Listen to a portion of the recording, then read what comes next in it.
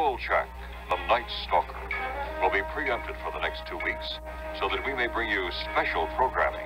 Tune in three weeks from tonight when Kolchak, the Night Stalker, returns to its regular time.